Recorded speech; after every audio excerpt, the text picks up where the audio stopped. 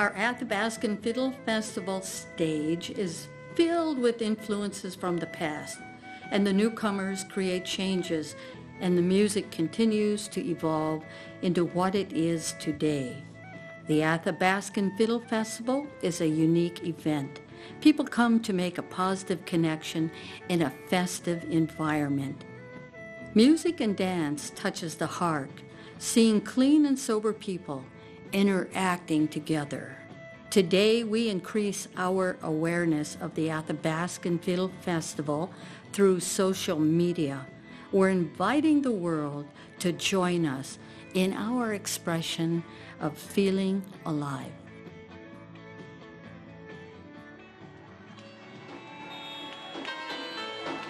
Marching to the table to see the same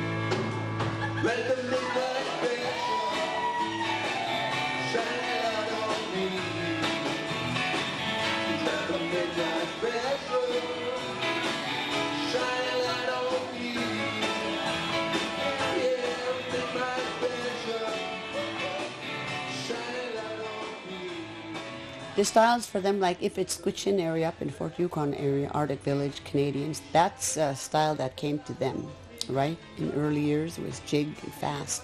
And so that stayed kind of in that area.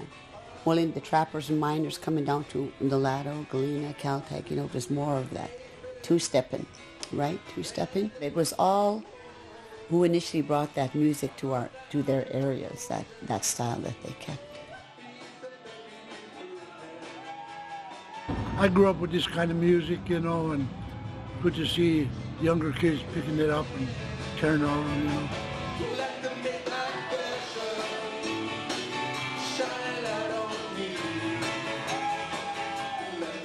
I enjoy afternoon sessions when the students come here. They look forward to it to dance with asking elders to dance. We used to sit way in the back when it first started 35 years ago. We sit way in the back. Now we're right in the front being the elders. That's that's how many years it's been. Everybody likes fiddlers.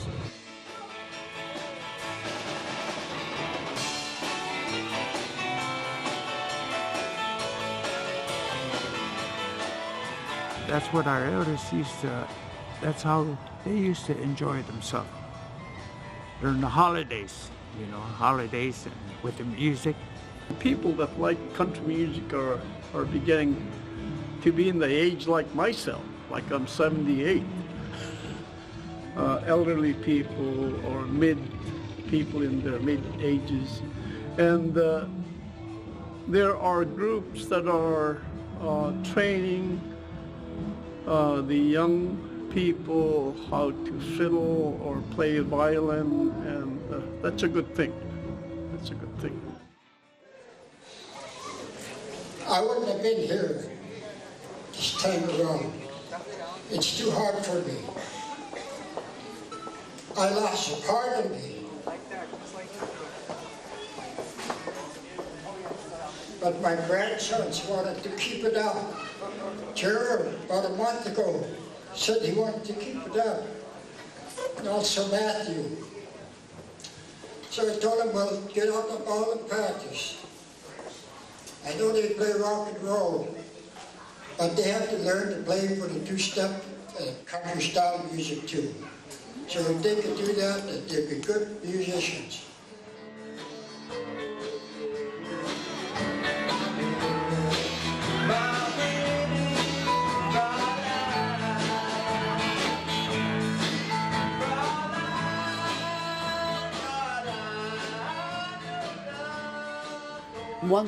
I see that we have more young, because we go teach out in the village. We teach fiddle, guitar. Then there's a local one that teaches here in town. uh, young native fiddlers. Um, I would hope and that I see is we see more youth coming up and taking over. And this is my second year playing, and it's been fun playing up there. Seeing everybody smile, laugh, everybody up on stage make jokes, you know, it's fun. Well, I grew up around a lot with my dad playing guitar around me, so I eventually picked up playing the guitar and some bass and some drums. I remember 16 years ago, we, they used to have it over at the um, Eagles Hall. My grandpa Joe Druck, he's the one that brought me here when I was a young kid, and ever since he brought me here, I've been here every time. We have a lot of young people that's learning how to play music, playing guitar, playing um, fiddle. My son picks, picks up the guitar. He's 10, so we'll never know. He goes to his room and we hear him fiddling with his guitar, so he'll pick it up maybe. Maybe he'll play with his dad before long. You know. That'd be eh, good. When I'm dancing, um, I uh, I'm in my own world, you know. And I, when I look around, I see the people near me dancing and smiling and laughing. I, I feel like they do. I just feel happy. My older brother, about 10 years ago, and he taught me how to play the bass. And my first song was Wagon Wheel. And he wouldn't teach me how to play guitar, so I learned on my own just watching him over a year. Then he told me to learn how to play drums and yeah, it was a tough one. But I got gotten playing drums after that. It's awesome.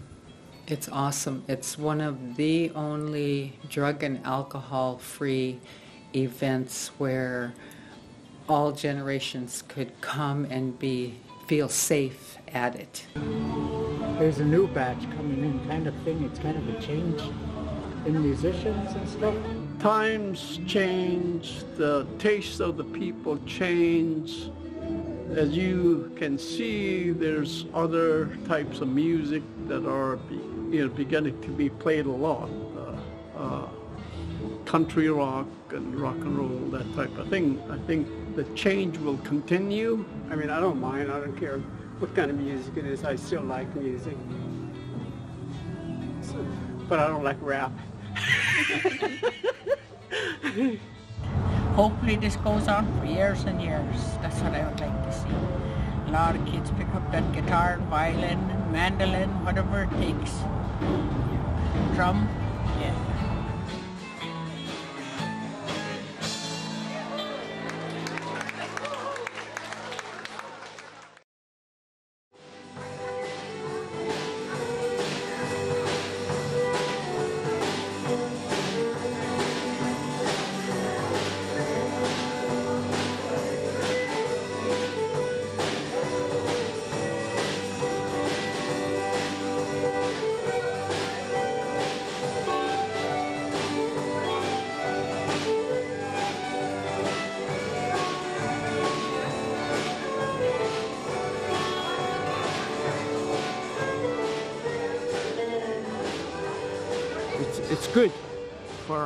get together during this kind of time because on the other side of the good times, there's the bad times.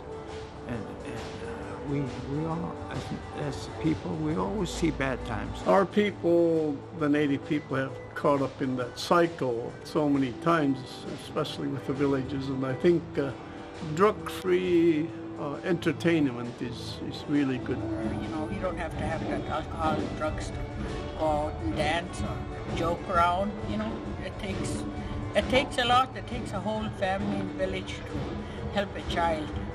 I've really been pushing, pushing young kids just to help them stay away from, stay away from drugs, mainly drugs and alcohol, you know. It's good to see the young kids sober and come here to have fun. Just take off happy after they're done, you know. You know, it's good. I went through it, you know. I went through it and, and I'm pushing my kids not to do that, you know, but, you know, it's just, it's just a tough way. That Yeah, I was in, I was getting pretty deep into you know, drug scenes and stuff, but, you know, pulled out. Smoking and chewing tobaccos, cold turkey for, that's been two years. That was tough. I started, you know, drinking, smoking and everything when I was 12. I was getting into the hard drugs at like 16 and stuff. We just continue to, this is one of our healing native people, our healing when we get together. And people are happy and, you know, it's really good. Everybody looks good, and everybody dress up real good.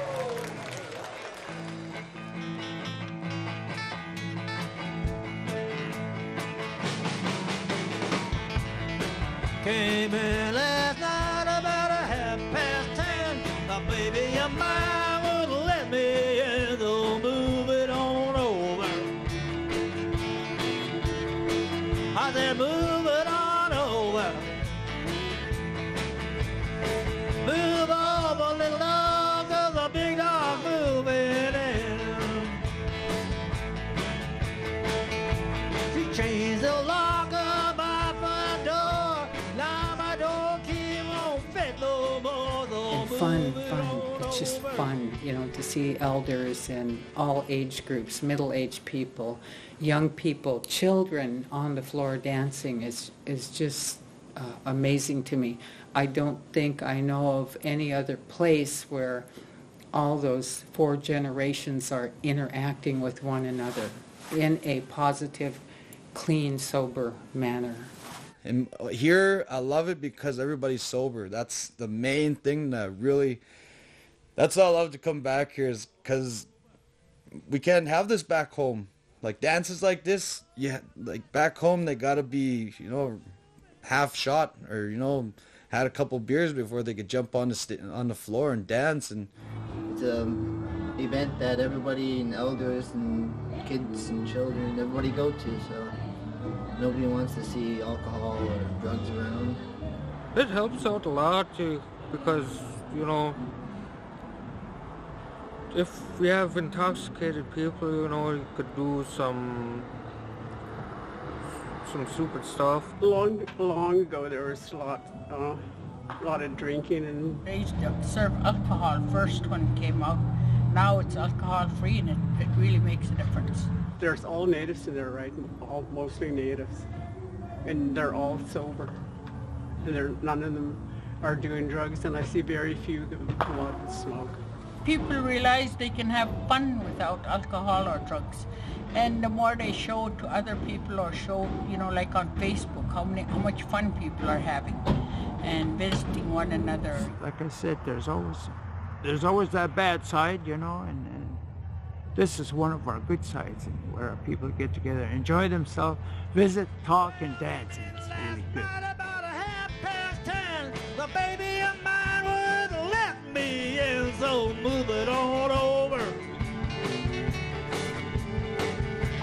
I'll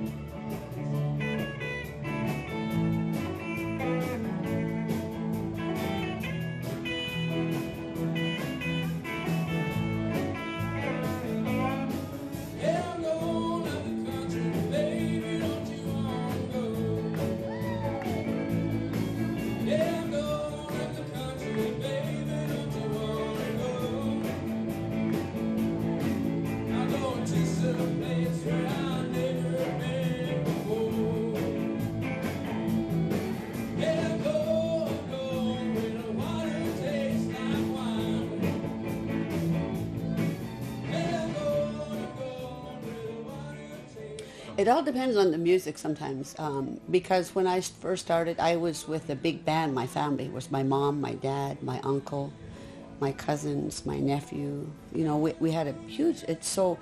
If they play a song familiar when I played with the Blackburn Band, which was my dad and mom and them, it makes me kind of sad. You know, it's kind of sentimental. You see the songs out there. Some of them they go way back, like Eagle Island. That was way back from Tom Patsy's. My grandfather, who was born in 1900. You know, early 1900s. And that song is played uh, not only in the United States, people over other countries. Uh, Indian rock and roll is another popular one. You know, there's those ones that stick out. Uh, I've I've definitely hung out with Josephine, probably Josephine Malamute the most, because uh, me and her uh, worked with the program called Dancing with the Spirit and going around to different villages and places uh, around Alaska, teaching kids how to play guitar and fiddle. So we spent like a week, you know, here in one town, a week here in another village, you know. So I know her the best, probably of anybody around here.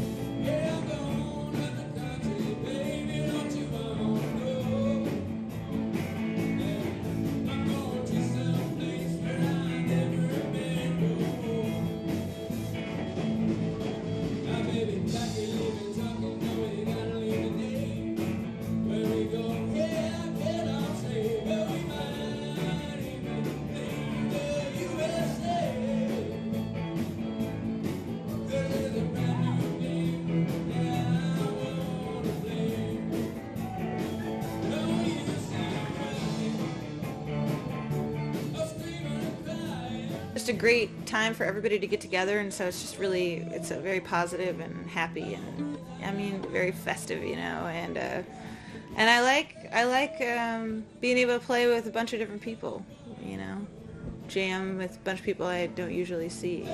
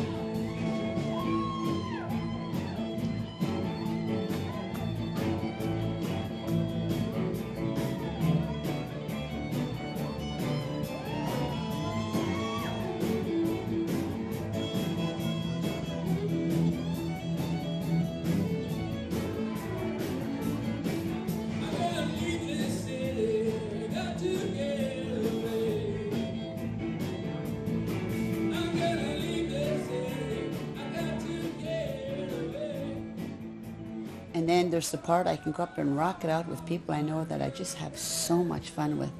You see new talent like Angela, you know, I teach music with her. And to have that, I mean, it just, it just energizes me when I'm up there with someone in it. And then when I'm out there dancing and hear a good band, like I didn't want to come in and do the interview. I want to go up there and dance. And who does that? Who dances 12 o'clock in the afternoon and all the way till 12 a.m.? I mean, you're talking 12, 13 hours of Athabascan Fiddle Festival. Who could ask for more, huh?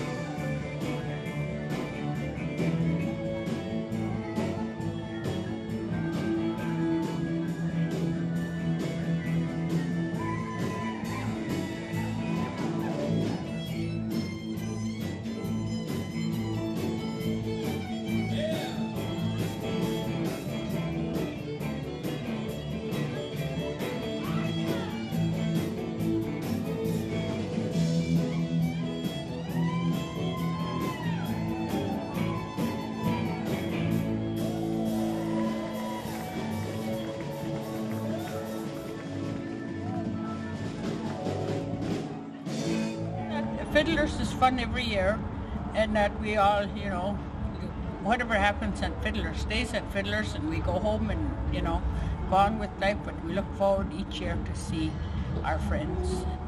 just a visit, you know, and and I, and because there's a lot of communities in the interior and in the state of Alaska.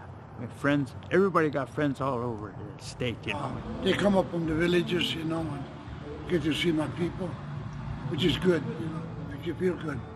Miss going home, but uh, I can go to Seattle cheaper than I can go to Nulato. Yeah, we look forward every year to seeing our friends we never see all year long. They're all the way from down around the Yukon. I'm from Chalkyitsik. Yeah, Tronchikuchin is Black River. Yeah, that's where, where I'm from, the river. Black River, yeah. I'm originally from the native village of Kipnuk. It's a, a village about 100 miles southwest of Bethel along the Bering Sea coast, the same latitude as the south end of the Koyak. If you draw this, you hit land, that's where Kipnuk is. And when I first started going, I went just about every year except for the two times that I had the flu. And I've been going every year. We used to live here when it first started, and I volunteer like every year. And then we moved to Anchorage just um, about 10 years ago. But I still go every year. We got everything together this year and made the trip up. So we're happy to make it here this year. Just my good friends I never see for a long time, and I know how they play and what they're gonna play and stuff. So we just come together. We don't even practice. We never even practice. We just came together and play. Just have fun. Good to see people. You could go look at that stage and you'll see somebody from, you know, uh, from Galena. You'll see somebody from Stevens Village and somebody from Fort Yukon on stage playing music together. And they haven't played all year together other than in that little room. Um, it's, it's amazing. Um, and people do, you know, make that their one big event a year. I mean, that, that was my mother's big event for the year. I mean, she'd go all out, she'd dress, you know, she'd, um, the last night she'd wear, um, she'd put on a dress, she'd make a special outfit for, just for the last night. And, you know, it, it was that um, important to her. It's like it's one of our healings, you know, and, and where our people get together. You see in there where people are happy, you know, and visiting, you know, and and uh, and uh, even though there's not too many, sometimes there's not too many people there. That me- people listen to the music. Why I come to the Fiddle Festival is to see friends that I haven't seen for a long time. Mainly to have fun, meet new people, say hi to family I never seen about a year, and listen to music, dance. You know, it's, it's good for you. It's like almost a big reunion every year. You know, we come back, everybody's hugging, good to see everybody. And you, I was just talking to a gentleman out there. I said, "What brings you here?" He said, "I come every couple of years." And he he knew the artist here. He knew what songs they played. And it was just really cool to hear. It means that where everybody gets together and has a great time out of the year and listen to all the great music and all the company and friends and family around. Just brings everybody together and feels like it just makes us stronger in a way. People mingle into, you know, you don't, some of them you see today and they might be gone tomorrow, you know. So it's good to see them. Fiddle Fest means God gave us a gift. That's, God gave me the gift of playing guitar and singing and writing, writing the truth about our land, about our water, the sky, the birds, which is really something happening to it today, but we write about it and we spread the music and it's promoted by the Fiddle Fest through television and radio. It means a lot to me because to see the elders shake hands and they say, May, there you are, like, you know. And it's good to be back to see them again because we may not see them again. So that's what brings me back, to see old friends, to play with them again, and to make people happy.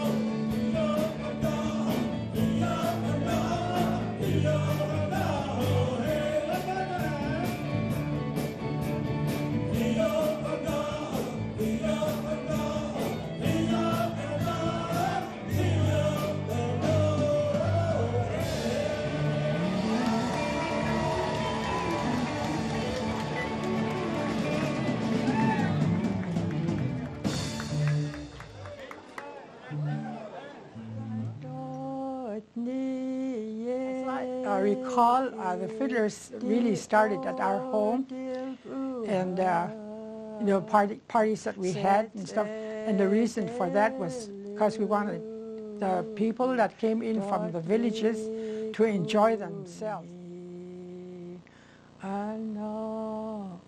The crowd got so big we had to rent either the Elks or uh, the Eagles.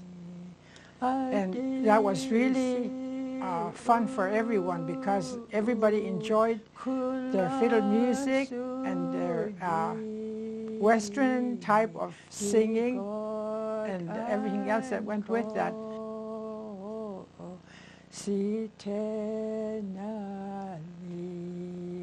Between the time that we started it to the time the fiddlers took over, the organization took over, I think it was 20 years that we did it on our own. And I'm really uh, thankful that it, it has turned into what it is today. Okay, Claudine is going to sing Eagle Island.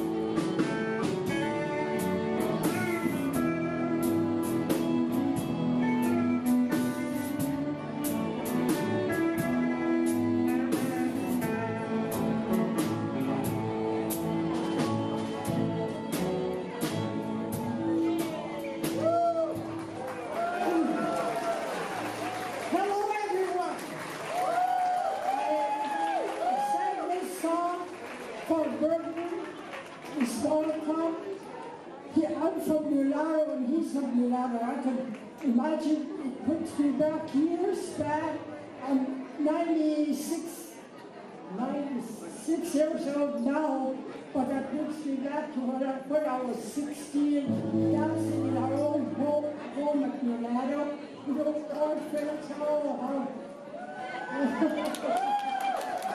Thank you.